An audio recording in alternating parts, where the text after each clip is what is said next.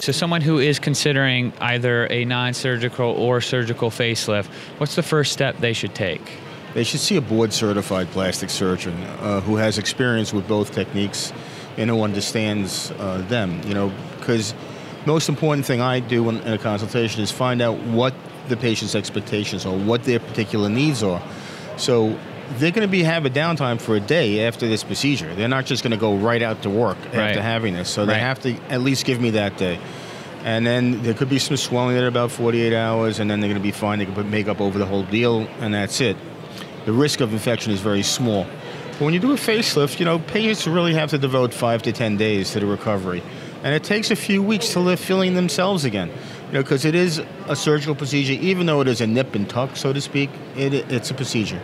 And I do do limited nips and tucks as well for those things which, you know, have very, very quick recovery time.